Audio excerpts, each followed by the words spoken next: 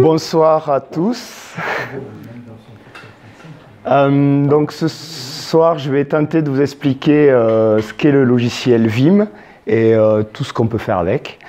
Donc moi je me présente, je m'appelle Alexis Couronne, je suis développeur depuis environ 11 ans, principalement en Python, JavaScript et un petit peu ELM et Go. je suis développeur donc professionnel front chez Gandhi.net, qui est un hébergeur et un registraire euh, de noms de domaine. Euh, je suis utilisateur quotidien de Vim depuis environ 7 mois. Donc je ne suis pas encore expert expert dans le domaine, mais je vais essayer de vous présenter ce soir euh, ben, les, toutes les vues, enfin, toutes les choses que j'ai pu voir de, ce logiciel-là. donc qu'est-ce que c'est que Vim? Vim, c'est un éditeur de texte qui est euh, libre et open source, mais c'est aussi un langage. Enfin, moi, c'est comme ça que j'ai interprété les choses. En fait, euh, Vim, c'est un logiciel qui est très très ancien. Et quand on regarde en fait son arbre généalogique, ça remonte jusqu'à 1965 avec euh, son, arrière-arrière-arrière grand-parent qui est KED, alors en anglais, en anglais je ne sais pas comment on le prononce, je vais dire KED. Euh, donc en fait, il faut savoir qu'à l'époque, euh, c'était même avant euh, les logiciels, avant la plateforme Unix. Et c'était donc, quand on éditait du texte, c'était uniquement sur une seule ligne. On n'avait pas la totalité de l'écran comme actuellement. Donc suite à ça, il y a eu l'apparition de de Ed, enfin, il y a eu l'apparition surtout d'Unix, qui a été développé par Kenneth Thompson. Et euh, donc, pour euh, cette plateforme-là, il a eu besoin d'un éditeur assez performant. Euh, lui convenait, lui convenait, donc il l'a porté lui-même euh, sous Unix. Et le nom de ce logiciel s'appelait Ed. Et à partir de, de ce moment-là, en fait, euh, dans, enfin, comment dire, dans Ed, il a en même temps développé le concept de, euh, d'expression régulière. Donc pour les développeurs, ça, ça, parlera peut-être un petit peu. Ça permet justement de faire des recherches très complexes au sein d'un, flux de, de, texte, tout simplement. Et euh, donc cet outil-là était tellement performant qu'en fait, il y a deux outils qui, sont, qui en sont sortis. en 74, grep, et aussi SED. Et donc, euh, suite à ça, il y a eu Hawk et en a découlé même le, langage de programmation euh, Perl. Donc, je ne vais pas rentrer dans, les détails, mais ceux qui sont aujourd'hui euh, administrateurs système sous Linux, normalement, ces logiciels-là sont enfin, doivent être dans, la boîte à outils de, tout bon administrateur système qui se respecte sous, sous Linux.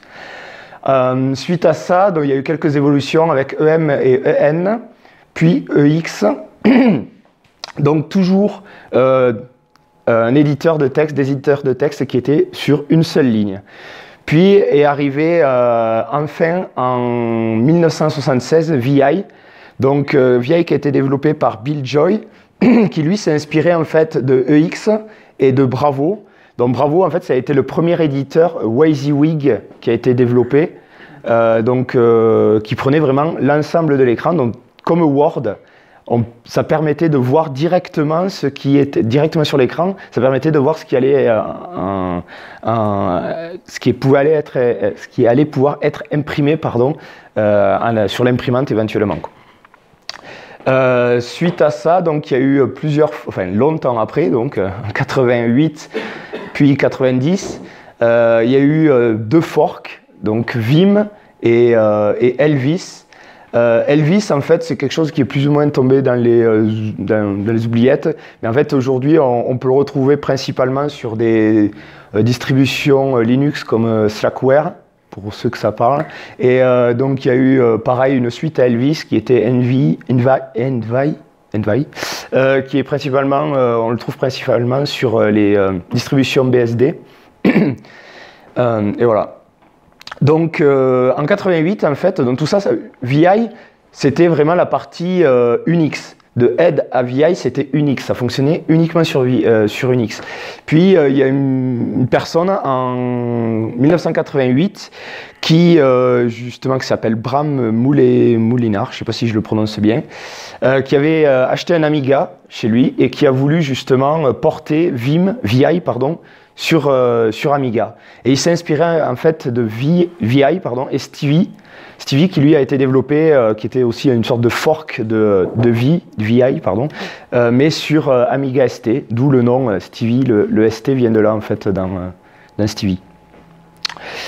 et puis en fait on en vient jusqu'à aujourd'hui où en 2014 il y a des. Enfin, comment dire Bram Moulinard était vraiment plus ou moins la seule, malgré le fait que ça soit open source, a été la, une des principales personnes à développer ce logiciel-là.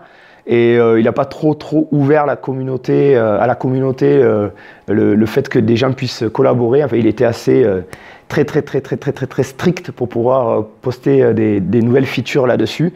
Et, et, puis en fait, c'était c'est un logiciel qui commence à être difficilement maintenable parce qu'il y a énormément de code qui fonctionne Principalement au départ, il a été conçu pour travailler sur Amiga, et aujourd'hui, en fait, plus personne travaille sur Amiga.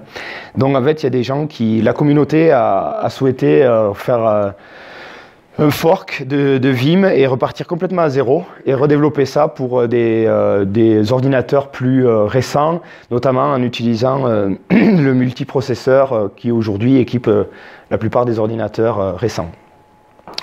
Donc voilà pour la petite histoire. Euh, donc oui, il euh, faut savoir qu'à euh, l'époque, quand, ils ont développé VI, ça tournait sur un ADM 3A. J'ai réussi à trouver la photo sur, sur Wikipédia. et en fait, quand on regarde le clavier, on s'aperçoit que ben, en fait, il n'y a pas de touche qui permet de, de naviguer concrètement. il n'y a pas de touche de flèche. Quoi. Et en fait, pour pour naviguer, il fallait faire CTRL avec H, J, K ou L en fonction de la direction qu'on souhaitait, euh, qu'on souhaitait euh, naviguer avec le, curseur. Et en fait, ces choses-là, c'est resté. C'est-à-dire que moi, aujourd'hui, j'utilise VI tous les jours, mais je n'utilise jamais euh, les, flèches. D'ailleurs, il est conseillé, fortement recommandé d'utiliser les H, J, K et L pour, pour se déplacer au sein d'une de l'éditeur de texte. Mais en fait, ça, vous allez voir par la suite, en fait, ça fait sens. Euh, donc, euh, nous, aujourd'hui, on va surtout parler de Vim, en sachant qu'aujourd'hui, euh, j'utilise NeoVim parce que bah, j'aime bien tester les nouveautés. Et puis, en fait, le fait qu'il soit multiprocessing, ça permet d'avoir des meilleures performances quand on utilise des plugins externes au logiciel. Donc en fait, il faut savoir que Vim euh, comment dire, est axé sur, trois, euh, sur quatre pardon, modes. Euh, contrairement aux éditeurs classiques, quand on clique au centre de, l'éditeur, on ne peut pas écrire directement son texte. De base, quand on ouvre un fichier, on est en mode normal, ce qu'on appelle normal ou commande. Et ensuite, il n'y a que quand on passe en mode insertion qu'on va pouvoir commencer à éditer son texte. Euh, ensuite, ensuite un, autre mode qui s'appelle le visuel qui va surtout permettre à faire des sélections au sein du, fichier. Et enfin, la ligne de commande qui va permettre de, ben, justement d'exécuter des commandes, par exemple la sauvegarde du fichier, ouvrir un autre fichier, euh, faire appel à des, euh, à, des, outils externes à l'éditeur, enfin tout un tas de choses comme ça. Donc pour aujourd'hui faire euh, le, pour faire le changement de mode, pour passer de normal à insertion, on va utiliser en fait euh, la touche I, tout simplement. Pour passer de normal à visuel, on va utiliser la touche V. Pour euh, passer du mode normal à la ligne de commande, on va utiliser les deux points. Et pour revenir au mode normal, eh on, on, utilise tout simplement la touche échappe. Donc, comme je le disais tout à l'heure en préambule, euh, moi, tel que j'ai compris Vim, c'est euh, un langage. C'est un langage à, part entière, en fait. Euh, donc, et ce, langage a une syntaxe un peu particulière qui est en fait un verbe et un sujet. C'est-à-dire qu'aujourd'hui, pour supprimer par exemple un mot, eh bien, en fait, on va utiliser le, le, le verbe des qui, qui, vient en fait de delete en anglais, ce qui veut dire supprimer. Et le mot c'est word, donc la lettre W pour le mot. Donc je vais vous faire une petite démo. donc là c'est bon, tout le monde voit. C'est un peu flou, non?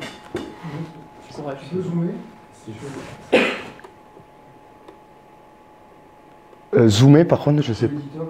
Ah, euh, putain. Euh, euh, là, ça va être compliqué. Ouais, bon, on va laisser comme ça. donc, imaginons que. Donc là, je, me déplace donc à, à l'aide des lettres J pour descendre, K pour monter, H pour aller à gauche et J et L pardon, pour aller à droite.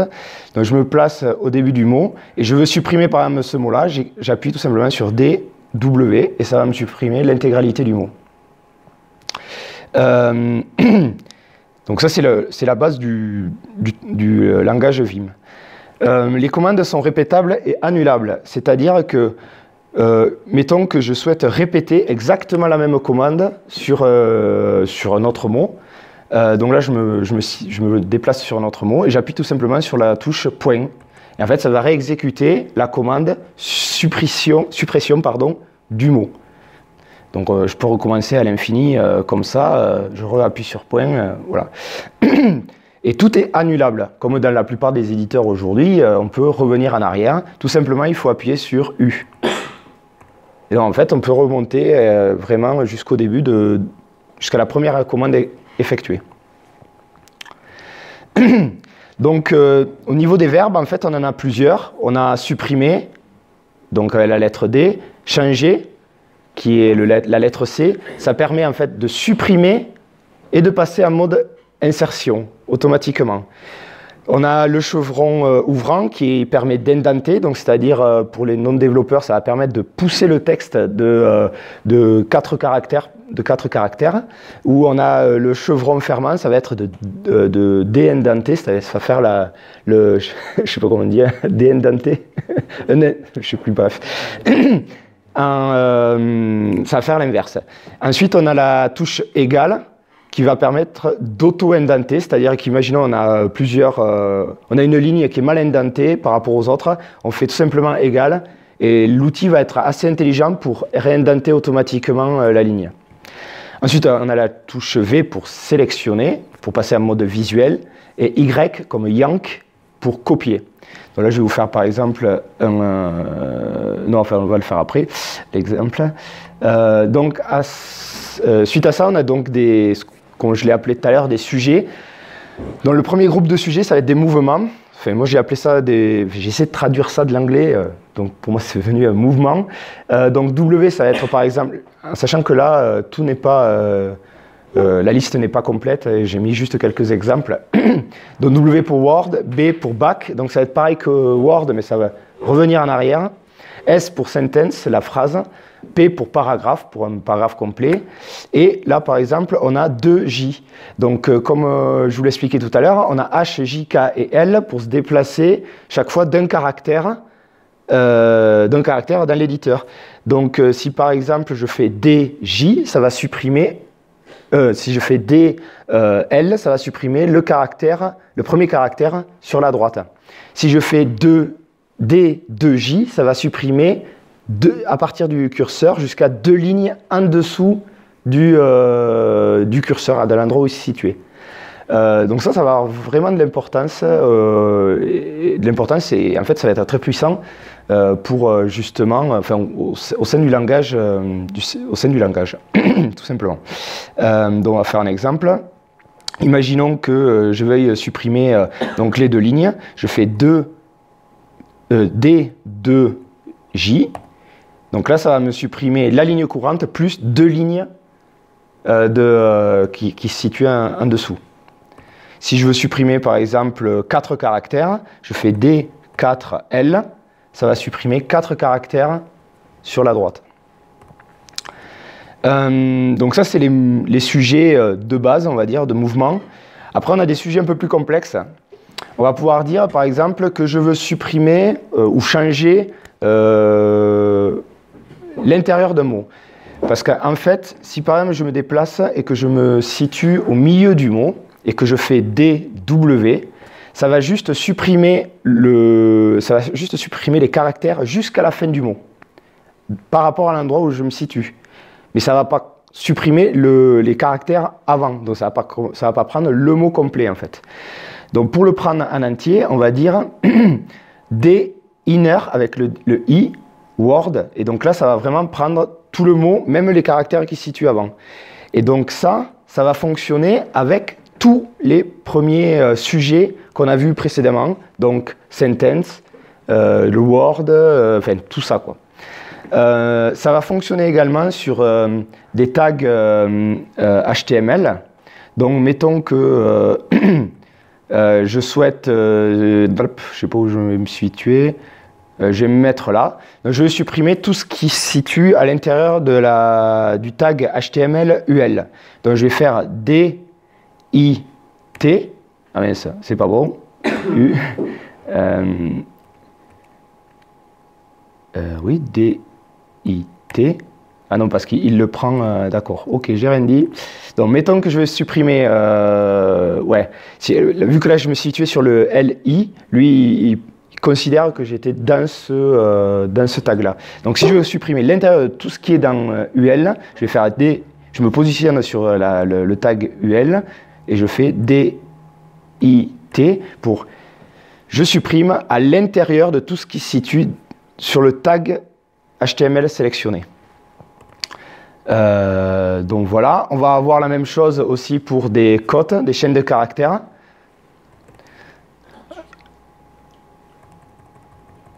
Mettons, je me situe à l'intérieur d'une chaîne de caractères. Je vais faire DI double cote et ça va me supprimer tout ce qui se situe euh, à l'intérieur de la côte. Ben justement, ça va beaucoup plus rapide. Imagine que tu as une chaîne de caractères qui fait 30 euh, caractères, 60 caractères. Ça veut dire qu'il te faut appuyer 30 ou 60 fois sup, ou tu laisses appuyer comme ça, là, euh, c'est ultra... Enfin, moi, je trouve ça ultra pénible, quoi. Tu perds énormément de temps. Là, en trois lettres, j'ai supprimé l'intégralité, même si c'est sur 5, c'est sur 5 lignes, etc., tu vas gagner énormément de temps. De quoi Comment trois lettres. Oui ben, En fait, c'est ça qui est euh, très puissant avec justement Vim, c'est qu'il est euh, composable. C'est-à-dire qu'on a juste besoin de connaître quelques, euh, quelques verbes, quelques sujets, et en fait, après, on va pouvoir les combiner à l'infini. donc, à chaque fois qu'on va apprendre, si on connaît par exemple trois verbes et trois sujets, euh, donc là, ça fait déjà 3 x 3, on connaît déjà 9, euh, euh, compositions. Il suffit d'en rajouter une, on passe de suite à 12, etc. etc. Donc ça devient, j'allais dire exponentiel, c'est pas vraiment le terme, mais ça, ça, augmente rapidement. Donc évidemment, ça fonctionne avec les parenthèses, ça fonctionne aussi avec les... je perds jamais, je perds toujours le nom de ce truc-là en français les, euh, accolades. Donc mettons que justement, euh, là je veuille supprimer l'intégralité de ce qui se situe dans, euh, la structure Twitter, là, et bien je fais des i accolades, hop, et ça va supprimer l'intégralité de ce qui se situe là-dedans. Donc pour enfin, comment dire, à chaque fois là je fais, je donne comme exemple la suppression. Je peux faire la même chose avec un changement. Donc je fais ci accolade et là, automatique, ça me supprime tout et je passe automatiquement en mode insertion et je peux euh, écrire et euh, insérer du texte à la place. Euh, donc ça fonctionne aussi pour les parenthèses, pour les crochets, etc. après, on a des sujets cibles. En fait, par exemple, on, a donc par exemple suivi d'un seul caractère va nous permettre de euh, cibler le, premier caractère euh, que, l'on a saisi euh, après le curseur. le F caractère, ça va faire la même chose, sauf que ça va aller jusqu'au curseur, enfin jusqu'au caractère lui-même. Ça va pas aller juste avant. Avec T majuscule et F majuscule, ça va faire la même chose, mais retour arrière. Et après, on a le slash qui va permettre de faire aussi euh, de, la recherche de, euh, mots plus complexes. Et on a le point d'interrogation qui fait la même chose, mais en marche arrière. Donc là, je vais donner un exemple. Imaginons que je veuille supprimer, euh, donc là, on a le, premier S, se situe là. Donc je veux supprimer euh, jusqu'au S, mais sans supprimer le S lui-même. Donc je vais faire D, euh, T, S. Ah oui, donc en fait, c'était, il était là, le premier S, donc j'avais pas eu. On va, dire D, on va supprimer jusqu'au K alors. D, T, K majuscule. Et donc en fait, on supprime tout ce qui, est, ce qui était entre le curseur et le K majuscule. Si on veut faire la même chose, mais en prenant aussi le K, on fait D, F, K, et ça va, prendre, ça va supprimer également le K. Euh, si, par exemple, je veux supprimer jusqu'au euh, la balise title, donc en fait, je fais D slash title. Par contre, on ne le voit pas bien, mais, euh, ah, mais ça, alors attendez, bougez pas. Voilà. Donc en bas là, dans la ligne, dans la ligne j'ai euh, tapé slash title. Et si je fais entrer, ça va supprimer jusqu'à ce que je recherchais qui était title. Et la même chose avec le point de le point euh, d'interrogation, mais à l'envers. Euh, donc comme je le disais tout à l'heure, le langage Vim est combinatoire, c'est-à-dire que tu connais 6 verbes plus 10 sujets mouvements, ça t'en fait déjà 60, plus 6 verbes plus 10 sujets objet texte, ça t'en fait 120, plus 6 verbes plus 4 sujets cibles, plus 6 euh, verbes plus les recherches, tu montes déjà à 150 combinaisons et au final, euh, tu n'as pas eu à apprendre 150 combinaisons, tu n'as pas eu à apprendre 150, euh, comment dire, raccourcis clavier. En fait, à chaque fois que tu vas découvrir un nouveau sujet ou un nouveau verbe, ça va t'ouvrir vraiment euh, tes capacités euh, de maîtrise de Vim. Euh, donc ensuite, on a des commandes sur caractère courant. imaginons que je souhaite supprimer juste un caractère. On va utiliser le X, tout simplement. Ça va supprimer le caractère qui se situe sous le curseur. Si on veut euh, remplacer ce fameux caractère-là, eh bien, en fait, on va faire la même chose, mais avec R. Donc, on tape R et mettons 1. Euh, Donc là, ça va remplacer le caractère courant par 1. Euh, donc après, il y en a d'autres. Je ne suis pas allé plus loin sur, sur, le, sur les caractères courants. donc ensuite, on a les registres. dans les registres, ça va être en gros la possibilité euh, de stocker en mémoire euh, euh, des, informations. En comme quand on fait un copier-coller sur un éditeur classique, quand on fait un copier, en fait, ça stocke la, zone sélectionnée en mémoire et ça permet après de la recoller éventuellement ailleurs. Donc, il y a quelques commandes de base à connaître, notamment DD. DD, ça va permettre de supprimer l'intégralité d'une ligne. Exactement. Donc ça va supprimer cette, euh, la ligne complète et en même temps, ça va la, stocker dans le registre. Donc pour ensuite recoller euh, la dernière chose ajoutée dans le registre, il suffit d'appuyer sur la touche V. Si j'appuie sur V, hop, ça va me recoller cette fameuse ligne que j'avais euh, stockée juste après. Je peux faire la même chose pour le copier. Donc je fais YY, donc là ça aura copié la ligne complète en mémoire. Et donc si je fais P, ça me double le... Enfin, ça me recolle le... le truc. Euh, ensuite, euh, donc, comme je le disais tout à l'heure, en fait, on a un mode visuel. Euh, pour passer du mode visuel, du mode normal au mode visuel, on appuie tout simplement sur la touche V. Donc, j'appuie sur V et je veux sélectionner l'intégralité du mot. Donc j'appuie tout simplement sur W et sera sélectionné l'intégralité du mot. En fait, quand on parle de mot, c'est le mot plus, enfin, c'est jusqu'au début du, prochain mot. Euh, donc, euh, une fois que là j'ai sélectionné, je peux, je peux rajouter d'autres verbes sur cette sélection. Donc, je peux dire, ben, je peux soit la supprimer, soit euh, le changer avec C, soit, euh, soit le copier. Et donc à ce moment-là, si j'appuie sur P, ça va me recoller euh, le mot euh, que j'avais collé, que j'avais copié, pardon. Ensuite, on a la, le, oh, et on va pouvoir aussi remplacer. Donc, imaginons, hop, je sélectionne le mot, je veux le remplacer par, je sais pas, des étoiles, ce mot. Je fais R étoile, et ça m'aura remplacé la totalité de ma sélection par le, par des étoiles. Euh, ensuite, on a la sélection par ligne complète. Donc, il suffit de ben, en fait, euh, appuyer sur euh, V majuscule. Donc là, ça aura sélectionné l'intégralité de la ligne. Et après, on a le, le mode de sélection par bloc. Mettons que donc c'est CTRL V. Comme vous voyez en bas, on passe en mode V bloc. Et après, en fait, on peut complètement naviguer et faire un bloc de sélection. Et à ce moment-là, on peut imaginer euh, remplacer toute cette sélection par autre chose. Par exemple, je passe en mode insertion en appuyant sur Maj I et je dis, euh, je le remplace par euh, Toto.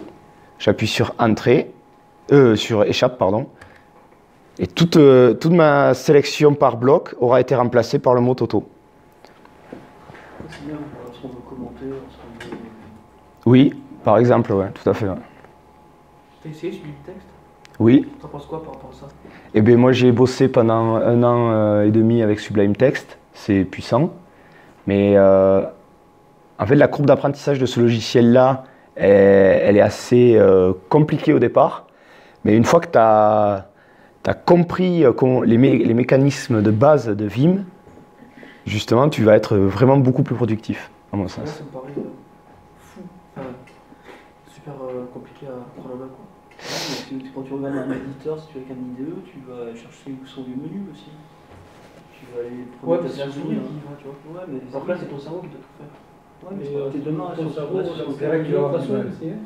Ouais, tes deux mains restent sur le clavier si tu veux. Donc après, Mais justement, le problème des éditeurs euh, classiques, c'est que quand tu utilises une souris, en fait, il te faudrait une troisième main, c'est-à-dire une pour naviguer avec euh, ton, ton curseur et l'autre pour écrire les choses. Et en fait, tu es tout le temps en train de faire comme ça. Ce qui, en plus, euh, on s'est aperçu, crée des troubles musculo-squelettiques, c'est comme ça qu'on dit, je crois. Et donc, euh, ça, ça permet aussi de, euh, de justement penser à sa santé. Donc, Vim est bon pour la santé. Il va nous vendre. Ce que t'aimerais faire, ce qu'il faut inventer, si tu veux, c'est ce qui avait été développé pour les simulateurs d'avion, où en fait, euh, le- la vue suit le mouvement de ta tête, tu vois. Tu as une, t'as une caméra et puis un, un point de repère, et donc tu fais comme ça. Donc il faudrait la même chose pour la souris, donc effectivement, tu pourrais, si tu veux, euh, garder tes mains sur le clavier et orienter ta souris. Tu vas plus vite avec un petit clavier qu'un tête. Par contre, quand tu sors du bureau, faut penser à enlever le tout. Ils ont trouvé des casquettes, c'est très bien. Donc ensuite, euh, comme je le disais tout à l'heure, on a le mode euh, ligne de commande. Dans le mode ligne de commande, euh, c'est lorsqu'on va appuyer sur la touche deux points. Donc par exemple, on va avoir euh, deux points new, ça va créer un buffer vide, c'est-à-dire euh, si je fais deux points, donc vous voyez en bas là-bas, la, ligne de commande se situe en bas du, euh, de l'éditeur. Et donc si je tape new, ça va m'ouvrir un nouveau buffer en haut là-haut. Donc en fait ça m'a splitté en même temps l'éditeur. Et donc là je vais pouvoir euh, commencer à éditer un nouveau, euh, euh, fichier.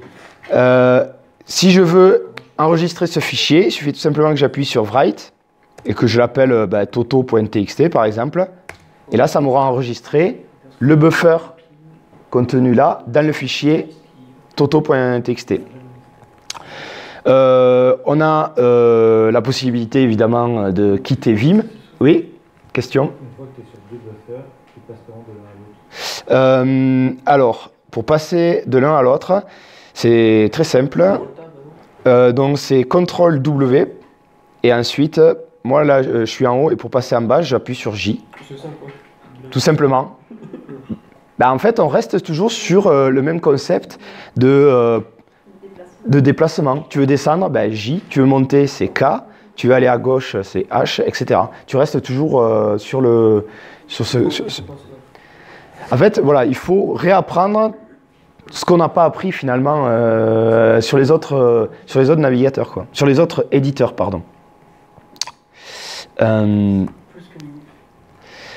Donc on a la possibilité de, de lire aussi le contenu d'un fichier et de l'injecter à l'endroit où on se situe dans le fichier, dans le buffer. Je vais donner un exemple, ça ira plus vite. Donc J, euh, mettons que... bah, là? on va faire un peu de place. Je vais intégrer Toto. Donc je je suis là, je fais tac read toto.txt. Hop, et là ça m'aura injecté le contenu du fichier euh, toto.txt. Euh, ensuite, on, a même la possibilité,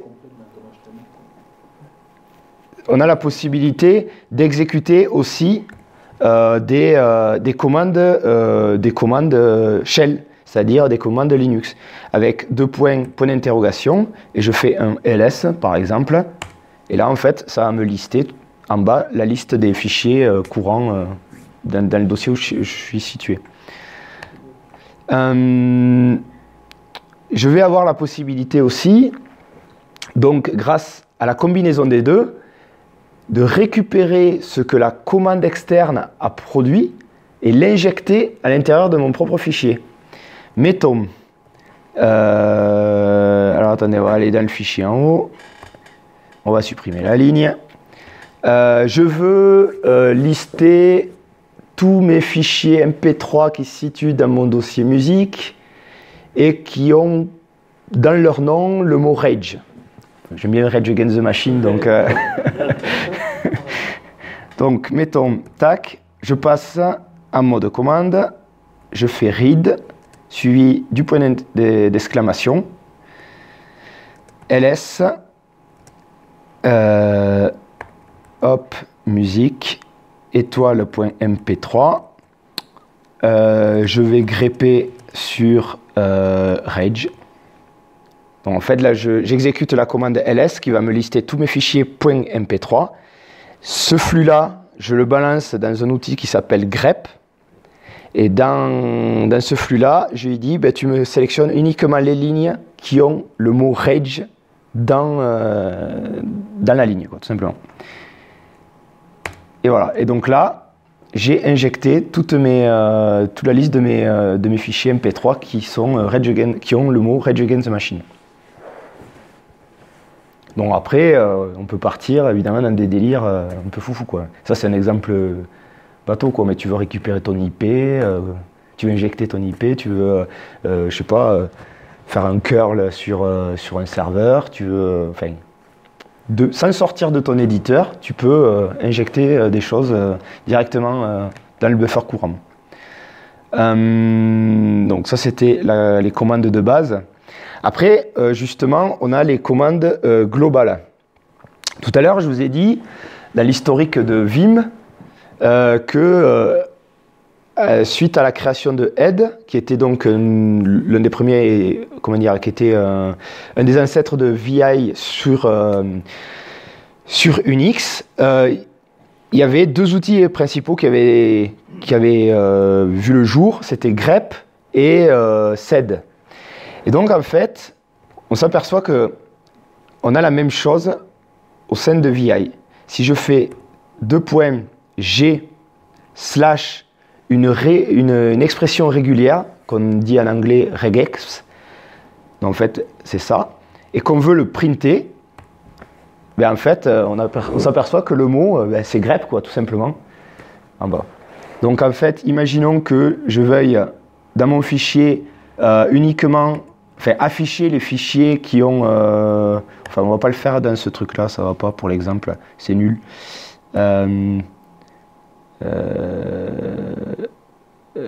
Comment je vais faire? Hop. Euh, je veux afficher euh, toutes les lignes qui ont le mot, enfin le, tag LI euh, dans, leur quoi. Donc, je fais G, tac, LI et P pour print. Et ça va m'afficher donc toutes les lignes qui ont uniquement euh, le, chevron, euh, le, tag LI. Je peux faire la même chose, G, LI, mais avec D pour supprimer. Ça m'aura supprimé à l'intérieur de mon fichier toutes les lignes qui auront euh, le truc. Après, on peut aller un peu plus loin. On peut même carrément remplacer le, pattern. Donc, imaginons, je veux le remplacer. Donc, c'est gapp li par li, on va dire. Et donc là, ça m'aura remplacé tout le pattern par un autre, euh, par un autre mot. Euh, donc ça, c'était pour les commandes globales. Si vous avez des questions, n'hésitez pas. hein, euh, S'il y a des trucs qui vous paraissent obscurs. Oui. Est-ce que tout à l'heure. On va partir de zéro et on va tester des trucs. on pourra faire euh, justement une partie atelier. Pour l'instant, moi, j'ai rien prévu, mais après, ça fonctionne de vos questions. On pourra partir justement faire un atelier euh, sans, sans souci. Parce que là, ça me paraît tellement puissant ce, ce- cet outil, mais super dur à prendre. Ben, en fait, c'est ce que je disais, il faut commencer à apprendre les quelques verbes de base, quelques sujets de base, et à partir de là, tu vas pouvoir justement euh, faire des choses assez puissantes. Donc euh, là, j'ai fait le tour glo- glo- globalement des, comment dire, des, fonctionnalités de base vraiment de Vim. Il faut savoir qu'on peut euh, rajouter à Vim, comme dans la plupart des éditeurs aujourd'hui, des plugins. Donc là, j'en ai mis euh, une petite liste. Donc euh, on a Vim Airline. Vim Airline, en fait, c'est ce qui va permettre d'avoir cette barre là, en bas et en haut là, un peu colorée, euh, et qui, quand je passe, qui va nous indiquer qu'on est en mode normal, euh, par là. Et euh, si je passe en, en mode insertion, tac, ça va passer en bleu. Si je passe en mode visuel, ça va passer en orange, etc. Donc c'est quand même assez pratique. Euh, surtout que plugger à d'autres plugins, justement, là par exemple, il sait que je suis sur la branche master, que j'ai fait aucune modification, etc. C'est Vim Airline qui fait ça c'est euh, alors c'est Vim Airline plus Vim Fu- Fugitive, le dernier là. Euh, ensuite on a Vim Surround. Alors celui-là, c'est, euh, je comprends pas que ça soit pas de base en fait dans Vim parce que c'est c'est ultra puissant. Mettons que euh, je veuille remplacer le, le- le- chevron LI par, par un div, mettons. Donc je vais dire change, donc CS Quoi tag CST par. Mince. Je- vas pas sur deux points là, tu t'en fous, c'est pas ça Non Non, non. Mais c'est- en fait, vous ne voyez pas les touches. Donc là, j'appuie sur C, suivi de S, suivi de T pour tag. C'était pas en insertion. Hein Il faut pas être dans l'insertion. Non, là, je suis en mode normal. Voilà. Il faut, faut, être, en mode, faut être en mode normal. Quand t'es insertion, tu tapes avec contrôle, non? Si j'ai bien compris. Pour passer en mode insertion, Non, sans passer dans le mode insertion, si tu tiens le contrôle, tu peux taper toutes les lettres, ça fait pareil. euh, non. Je pense pas. J'ai réussi de supprimer un mot comme ça. Ouais. Sur NeoVim, j'ai pas réussi à le, à, le, euh, à le mettre en place, ça encore. Mais peut-être, peut-être tu, tu m'as fait découvrir un autre truc. J'avoue que ça fait que 7 mois que je pratique, donc j'ai peut-être pas encore tous les. euh, Euh, En parlant de couleur, Ouais. syntaxique là, c'est d'origine. HTML Go et tout ça, c'est d'origine. Euh, non, après, en fo- euh, HTML, oui. Après, tu as des euh, langages comme Go où il te faut rajouter le plugin. D'accord. Et genre tout ça, tu peux aller sur un forum, tu tapes plugin euh, Vim et tout Oui, oui, oui, tu les as ou sur GitHub, euh, etc. Tu, tu tapes Vim euh, Go, euh, tu auras. Donc, pour revenir sur le truc, c'était Vim Surround. Donc, imaginons que je vais, je vais remplacer les chevrons LI par OL. Donc, je vais faire change pour enfin, la lettre C pour change, S pour surround, T, et je vais taper. Pourquoi ça marche pas? Ah Allô Allô, quoi. Comme quoi, souris, ça a quelque chose. OL. Voilà. Et donc là, ça a remplacé le tag li par OL. De la ligne. On peut imaginer faire la même chose, par exemple, Par contre, tu tapes en aveugle, tu vois rien sur l'écran. euh, vu que tu es en mode normal, c'est comme quand tu supprimes un mot, par exemple, tu, tu fais euh, bah, DW, tu, tu supprimes directement le. Tu exécutes en fait du commande Vim. Euh, là, c'est la même chose en fait. Imagine, je veux remplacer là les doubles cotes par des, par des parenthèses, mettons. Je fais CS double cote par parenthèse. Et là, ça m'aura remplacé directement les doubles cotes par parenthèse. Par rapport à une touche globale. Si tu fais un global euh, comme tu as fait tout à l'heure, Et oui, non, mais global, ça va s'exécuter sur la totalité de ton fichier. Là, c'est, euh, là, là, là, je suis à l'intérieur d'une chaîne de caractères et je dis, vu que je suis à l'intérieur d'une chaîne de caractères qui a, et qui a donc deux euh, doubles cotes, je dis ce qui euh, surround donc cette chaîne de caractères par des doubles cotes, ces doubles cotes-là, je vais les remplacer par des parenthèses, tout simplement. Ou ça peut être par des crochets, ce que tu veux quoi. CS, par exemple, crochet. Merde, je suis où? Hop. Ah CS. Crochet. Ah, ça marche pas. Bon.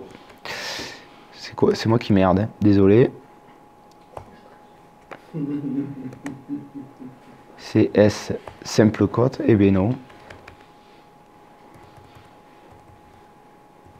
CS simple cote. Bon, il marche plus. Bon, tout à l'heure ça marchait, maintenant je sais pas j'ai dû appuyer sur qui va pas. Bref. Donc ça, ça va être Vim Surround. Donc c'est extrêmement puissant, notamment pour la partie euh, tag, pour euh, enfin tout ce qui est HTML. Ça permet d'aller très vite. Euh, pareil quand on, a pas mal de, fichiers avec, enfin quand on a des, strings à, à- modifier. Euh, Nerd Commenter, alors ça c'est pareil. En effet, comme il le disait tout à l'heure, on peut utiliser le, le mode bloc visuel pour euh, commenter une ligne. Euh, là, moi j'ai rajouté un petit plugin. Donc en fait, il suffit tout simplement. Enfin, c'est valable sur certains langages de programmation, mais pas sur tous, euh, notamment sur l'HTML. Donc là, en fait, en faisant une commande, ça va permettre de directement euh, commenter. justement, il y a des plugins par langage pour vous? Après, ouais, tu as des plugins par langage, tu as des, pff, des plugins, il en manque pas. Tu en as des dizaines et des dizaines. Même sur des euh, euh, langages de programmation très très récents, euh, mettons React, qui, qui est, qui est en fait euh, une librairie utilisée en JavaScript qui a une syntaxe assez particulière, et bien même sous, euh, sous Vim, tu l'as. quoi. Il y a la communauté. euh, en général, tu l'as même avant Emacs et. Enfin, bon, après, je veux pas. Là, là, là, je risque de me faire euh, taper sur les doigts, ouais. Et moi, j'ai jamais vu Emacs. Euh, donc CTRL P, donc ça c'est super. Donc tu fais CTRL P et donc ça va t'ouvrir en fait tous les, tous les fichiers euh, de ton projet. Euh, donc là par exemple, bah, et, tu- veux ouvrir donc le fichier bah, Toto, toto.txt. Ah mais je l'ai déjà ouvert. Non mais mettons, comment je peux faire hein? On va le fermer du coup. Voilà. Euh, pourquoi ça l'a pas fermé?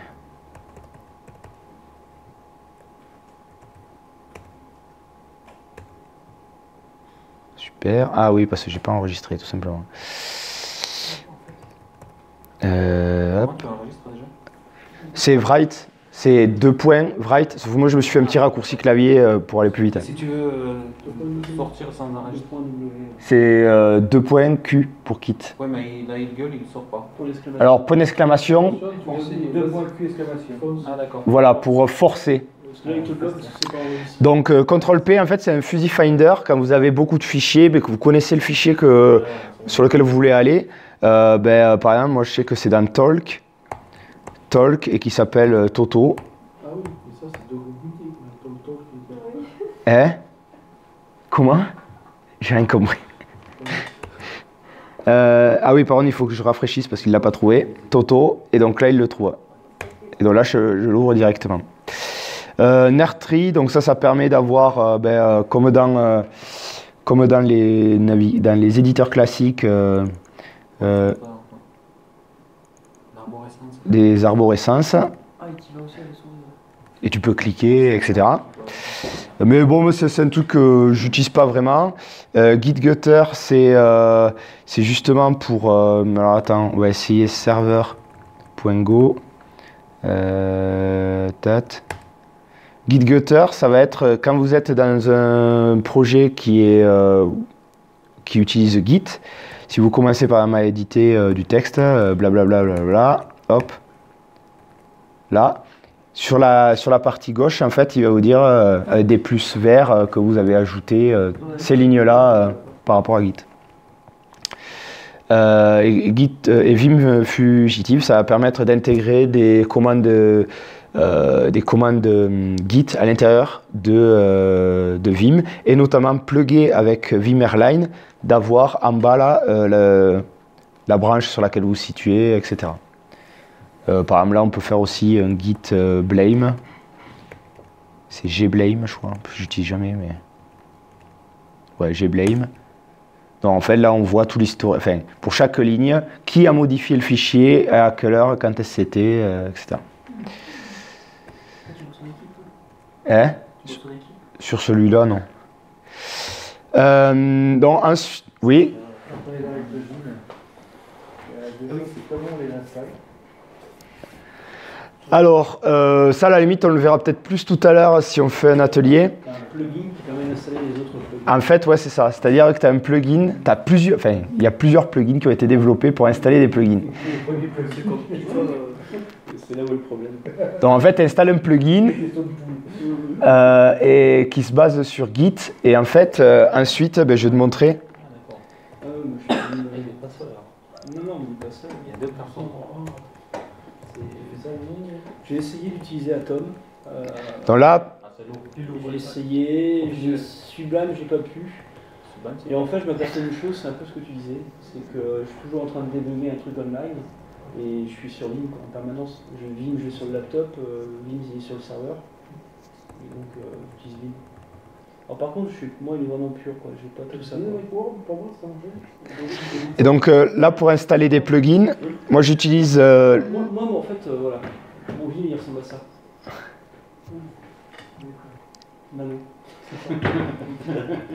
Pour installer des plugins, euh, donc en fait, on utilise euh, un truc qui s'appelle Pluged. Euh, donc là, on le voit. Et on va dans son fichier vimrc, qui est en fait le fichier de configuration de Vim, on va déclarer la liste des, euh, des plugins dont on a besoin. Et en fait, on met tout simplement plug et le nom. Et ce nom-là, en fait, c'est tout simple, c'est juste le nom du dépôt Git du plugin. Donc lui, il va faire automatiquement un clone du dépôt Git et le rapatrier localement et après l'injecter euh, dans, dans notre configuration. Et si tu supprimes, il comprend que tu le veux plus. Ouais, tu as juste après à recharger euh, ta configuration et, et c'est bon.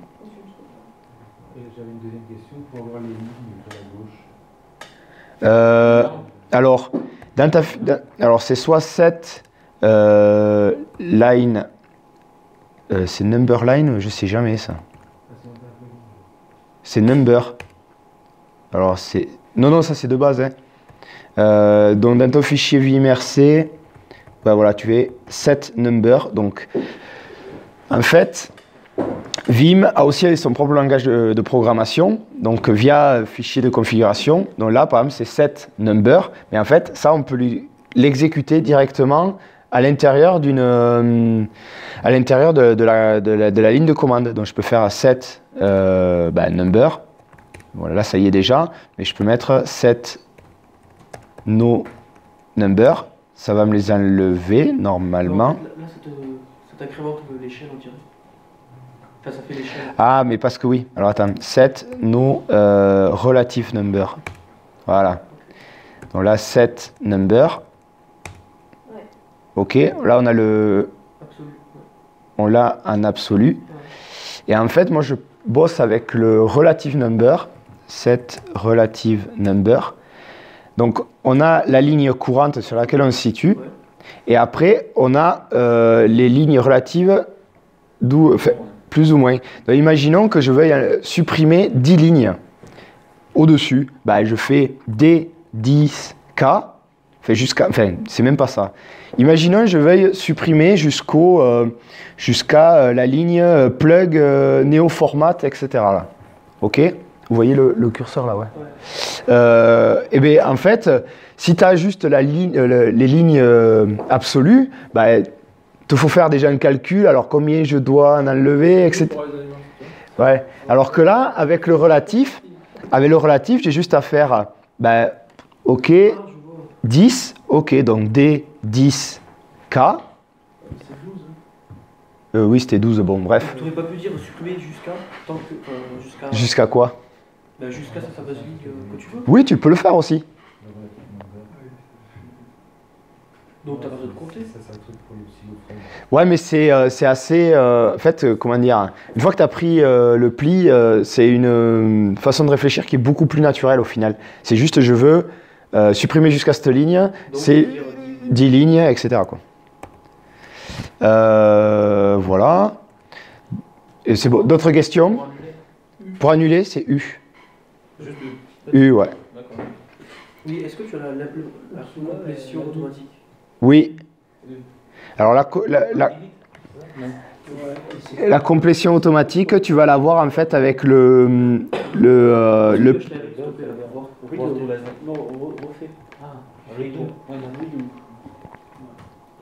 euh, mettons, euh, on va prendre un exemple concret.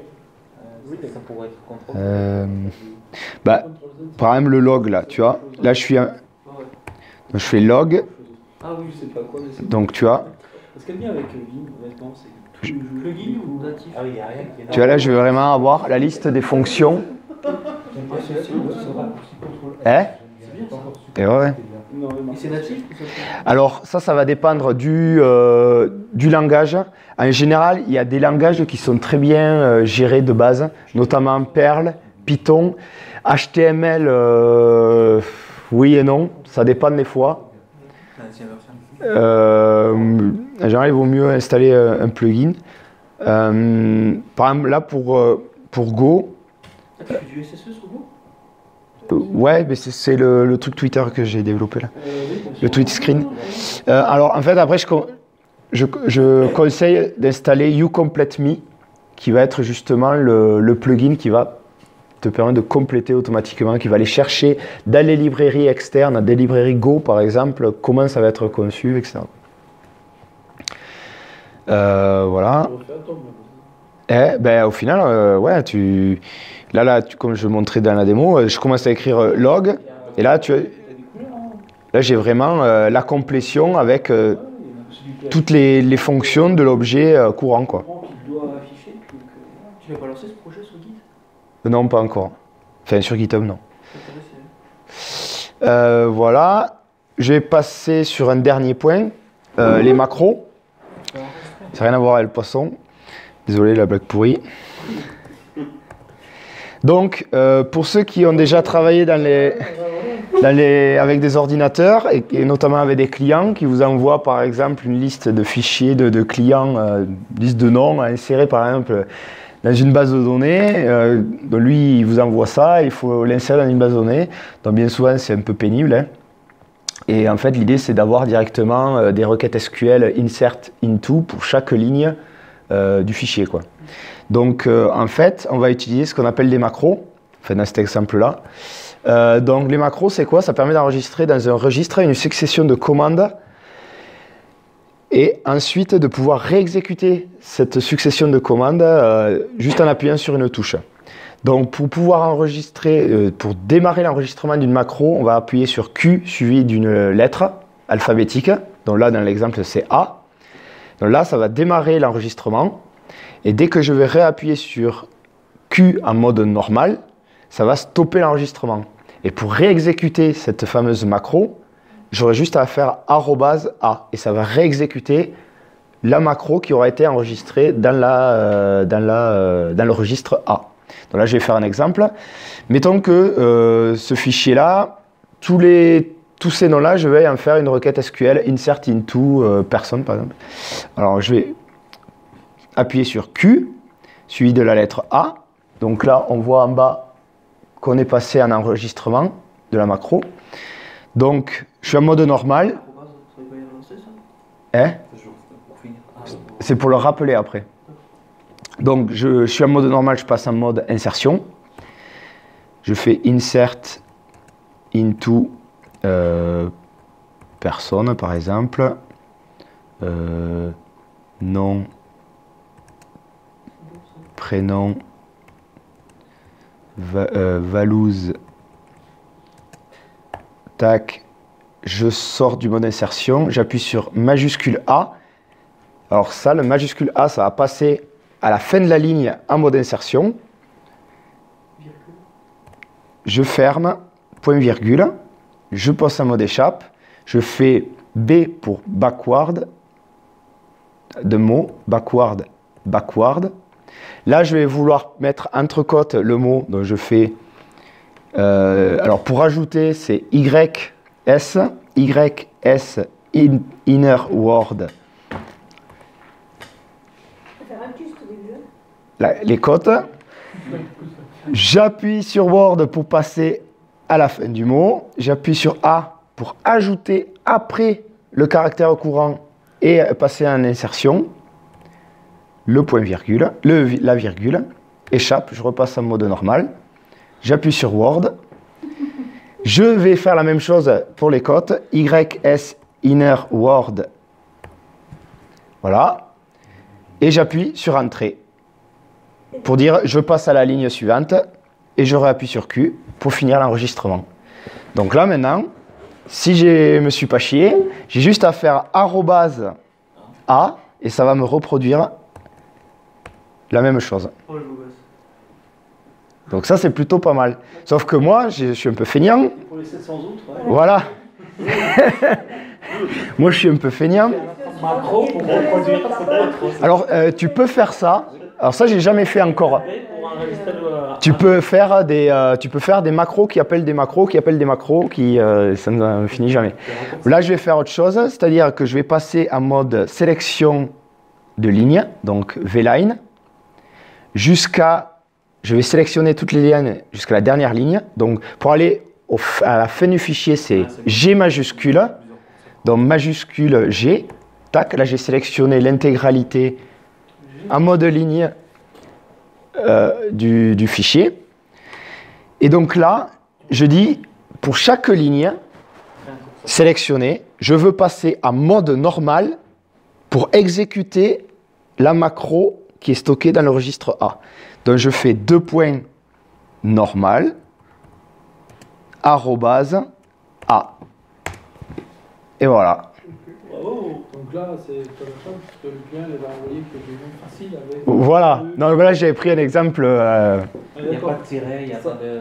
C'est l'effet Bonaldi, ça marche super bien. Voilà. Sauf sur le carré. ouais, aussi, en général, quand même. Enfin, à moins que le client. euh, voilà. Mais bon. Donc, ça, je trouve ça assez cool. Bon, en sachant que là, c'est encore un exemple super simple.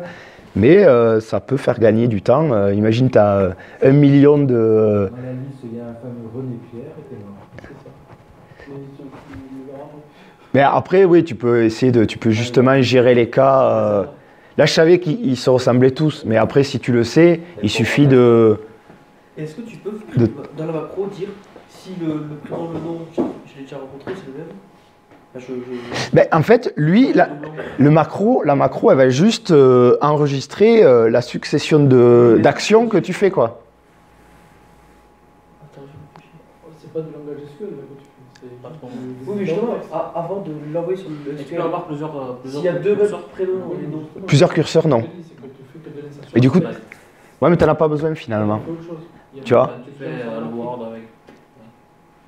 T'en as pas besoin. Après, sinon, il te faut enregistrer le truc, faire une greffe dessus pour chercher les lignes uniques et compagnie. C'est macros, Mais c'est- comme super prénom, ça veut pas forcément dire la même personne. hein.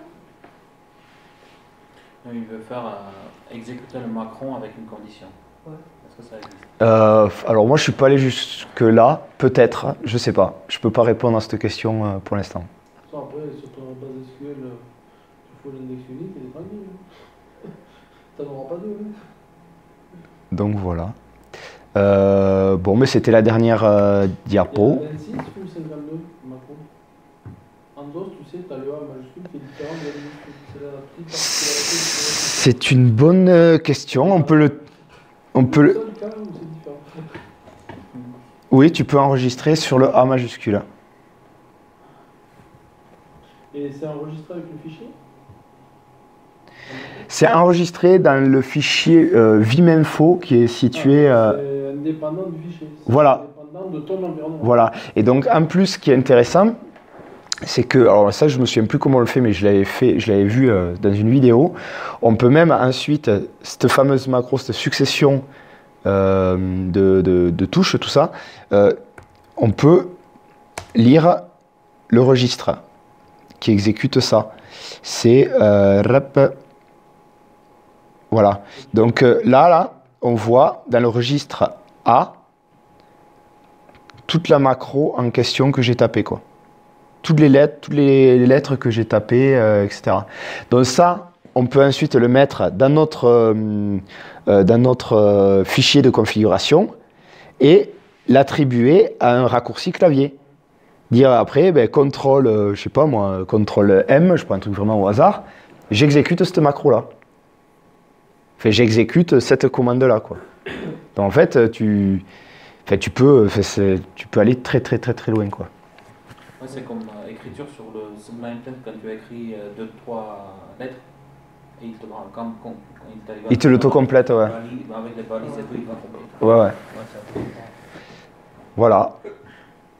Merci pour votre attention.